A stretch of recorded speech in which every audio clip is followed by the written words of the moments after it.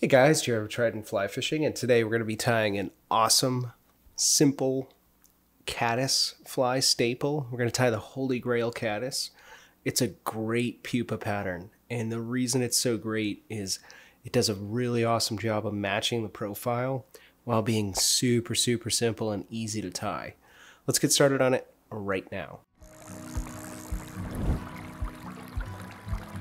So in the vise today, um, I have a weird hook. I have a TMC C300BL, so a barbless curve shank hook in a size 12. Uh, you, you, could use like a Tiemco uh, 2488 or something like that, something more standard.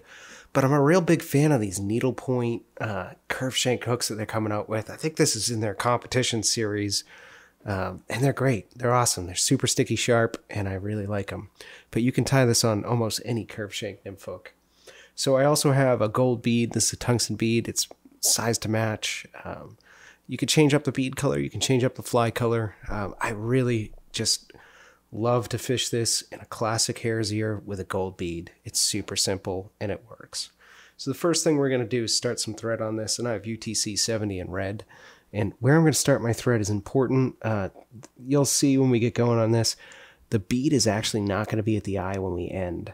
So you want to use this hook point as your measurement. It's important that we do not crowd this space here. We're going to pull the bead back to here, and we're going to want at least a hook uh, hook eye gap in front of our bead. So keep this point, keep your thread right at this point. Tiny bit above is fine, but do not crowd that bead. So the next step is to put in some Flashabou, just pearl Flashabou, regular old Flashabou, and just tie that in right on my side of the hook roll it to the top and bring it down. We're going to bring this down. This is a curve shank hook, and we like to use that whole curve shank. So we want to bring this down to a point, and I, I see it as an angle here. Whatever this angle here is about right, but it's almost halfway down that bend, but not quite. So bring that back up a couple of turns, and we'll leave it right there. And then we're just going to start dubbing our body. So for dub, again, I, I have a hare's mask here. Um, I pulled off a good amount of fibers. I got some, I got some soft fuzzy stuff in there. I have some guard hairs. It's just a great little blend, and you know you can really achieve a lot with one of these natural hair masks, and that's why I prefer that. Picking my own dubbing rather than buying a pre-made dubbing. Uh, you can get these in a number of colors. Again, I have the natural here which for me is just a great versatile color. But they come in olive, they come in black. You can tie this in a number of colors. Uh, feel free to experiment. So we're just going to dub a nice little noodle and get that going. And I like to keep it relatively thin. For me, this fly fishes when it has a nice, thin, tapered body and is chunkier up front. Uh, it's going to vary, guys. Whatever you like, whatever you think looks good, you can go for. So I've got this little gap here and we're just going to bring that back until I start getting some dub on this hook and right there. And we're just going to bring this up. And like I said, keeping this nice and tight, but we want to put a little bit of a taper. So you may have to overlap a little bit. You could build your taper into your noodle, but I like a nice even dubbed noodle and I can come back and over it to create this taper. You'll see me doing that right there. So again, right at that hook point, we're going to stop. That's going to be our stopping point. We don't want to go too much further than that. So let's start wrapping this uh, rib here. So nice tight turns. Get them down into that dub and create a nice segmented body. Be careful pulling too hard on this because you will stretch it out. Right there, whatever we have for turns, that looks great to me. Let's tie that off and we'll come in here with our scissors and just chop that out. Right there, guys. Super, super simple. So another great thing, easy material. Everybody should have it. We love it. Pheasant tail. This is going to be our shell back, our right here. So what I'm going to do is pull oof, 8, 10 fibers from the feather. Um, you'll see I got these nice fuzzy weird things. We'll just chop those out to make it easier to handle.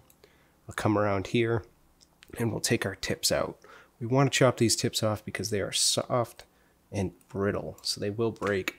So sometimes, you know, you look at this, you got a dark side and a light side. You can vary this up. I like this light side on top, so I'm going to tie with the dark side facing up, and when I pull it over, I'll get that nice light mottled color on top. So you want to make sure that's right on top. And it is. And you see here, this is about, it's about a bead. About a bead. Maybe a little more. But now we're going to dub that thorax. And again, it's just going to be hare's mask. So you see I got a nice buggy, chunky piece here. And we're just going to dub this in. Create a nice fat thorax. Little looser. Little looser than our body but we can always pick this out. So I think I probably have a little much here, but we're going to go with it and see how it looks. So let's just get a nice bulbous chunky thorax in there. And we'll push that back. Mm, you know, we could probably put a little more in there. So let's put a little more in there. So we're going to add a little more dub to this. Um, something we can adjust, and we want to make sure that we are adjusting this and making sure that this fits the way we want it to So right there. And we can push this bead back a little bit. So let's um let's do that. Let's push our bead back, advance our thread, and kick that bead into our body. So we may have to push a tiny bit. And I went a little, I got a little overzealous. I put a little too much in there, but we still have enough room here. It still looks good. So let's pull this over. Um, let's take a look here. We got this pretty compacted. So let's flatten that out. We can do that by using our bead here to kind of spread these fibers. Right on top, and it did rotate on me, so we'll just pull it over a little bit. A couple of wraps, and then we'll come in here. We want to make sure that we don't have anything in this hook eye, so we want to get this nice and close. And good scissors really help. Let's take a look at this. This does look pretty good to me. If you want, this is pretty buggy. If you want, um, take a little piece of Velcro. This Dr. Slick tool I have works great. And kind of come in here and tease out some of this stuff. I think we did a great job, and this is pretty buggy on its own. You'll see that isn't exactly on top, but we're going to roll with it. So the next thing I want to do is I'm going to grab my soft hackle. I'm going to grab a natural partridge hackle here. I have a whole skin. And I'm going to go and pick out a feather and I like these brownish ones. I you know you see a lot of the gray with the black barring. I like these brown ones. And this is one that I've grabbed and I've prepared already. So I'm only looking for a full turn here, but I want to make sure that my fibers are, you know, about the length of this body. And you'll see I got some shorter ones in there too, so that's okay. And I've created this little delta. I've stripped off my stuff, my junky stuff that I don't need. And we're just going to tie this in right here. So let's get going on that. Okay. So right in here, we're going to use that delta as our tie-in point. It's not going to slip out. Get it in there. Get it nice and tight. And you know what? I may have crowded this eye a little bit, but I think we can still make this work. So we'll pull this back. Get those fibers laying back, and then we'll take our turn here. Watch that stem doesn't get wrapped around your thread like it did with mine. Keep those going back. Ooh, we got a mess, but that's how sharp hook. It's okay. We're just going to keep preening these back. And you know what? We're going to get two wraps in here because it's looking a little thin. You know what? Two wraps look good. So we'll come in here, we'll take that out. You'll see I kind of split that, so I have some fibers going forward, but we'll cut those out. Let's get our scissors in here.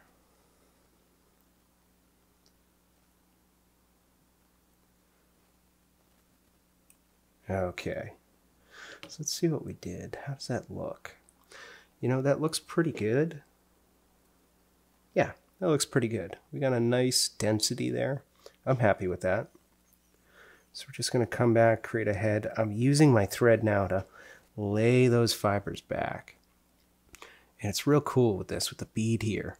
You know, it's really going to trap some air and give us that illusion of an emerging pupa with a trapped air bubble.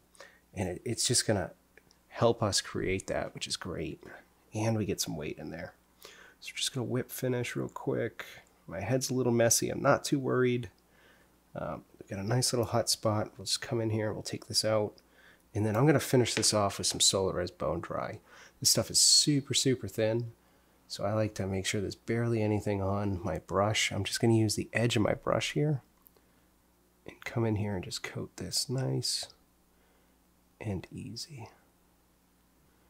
So once I got that fully wetted out, nothing's running, and we'll just hit that with our light, and we are good to go. Guys, that is the Holy Grail Caddis. Super simple, easy, yet effective. We got some soft hackle, we got some flash, we got some natural hare's ear. Literally nothing better than that. Thanks for watching, guys, and we'll see you next time.